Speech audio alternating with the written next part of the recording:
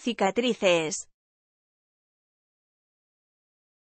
Señal o marca que queda en la piel después de cerrarse una herida. Impresión profunda y duradera que deja en alguien un hecho doloroso. Suscríbete y dale a like para más videos.